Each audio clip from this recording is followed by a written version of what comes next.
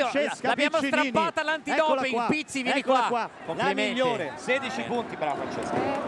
Francesca, allora- come sta la tua schiena? Esatto, la prima cosa che vogliamo sapere. Abbiamo visto il taping, l'abbiamo visto tutti, almeno l'ho visto io, No, no, no. sta bene, sta bene. Sono contenta di questa reazione, sicuramente dobbiamo fare di più.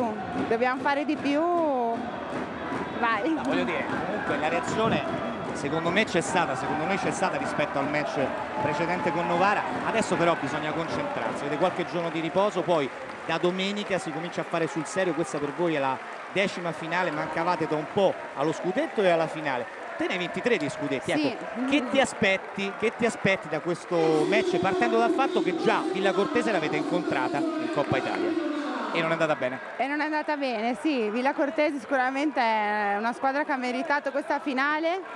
È una bella finale Bergamo-Villa, ci rifa- vogliamo rifare della Coppa Italia e niente, noi dovremo prepararci bene, eh, loro sono comunque una squadra forte.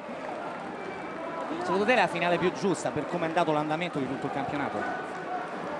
Ma quello- Equilibrato, un campionato equilibrato. un campionato equilibrato, alla fine eh, siamo arrivati noi, quindi penso che sia giusto così. Comunque sei tornata alla grande questa sera, 16 punti per te, è una grande prestazione. Grazie, adesso oggi riposo, stasera riposo e domani si ripensa. La capitana di grandi battaglie, abbiamo visto anche la Righetti, il guerriero in campo, avere le vene gonfie, l'atteggiamento giusto, per cui sicuramente sarà una grande battaglia questa finale.